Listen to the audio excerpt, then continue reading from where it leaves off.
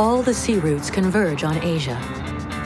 Of the top 50 ports in the world, 11 are in China, and the most important is Shanghai.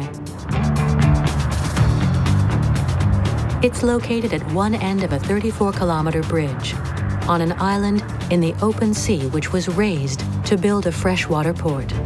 It's the biggest port in the world.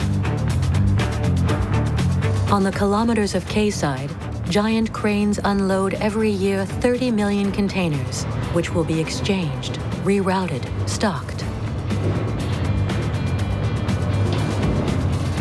Who knows where our boxes are going and what they contain? Container transport is like a game.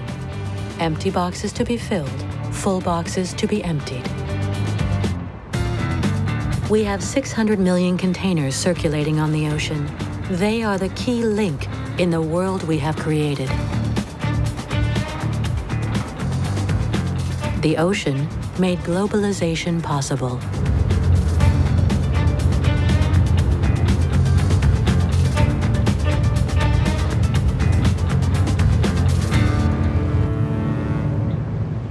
The demand is so great that our fleet of container ships has tripled in under 10 years.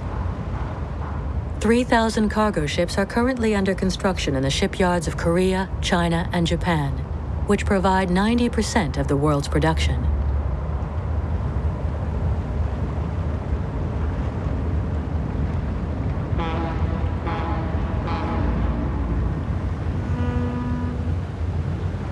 Everything here is outsize. Gigantic yards employing more than 10,000 workers cut and extend the existing units we assemble ships over 400 meters long, the area of four football fields.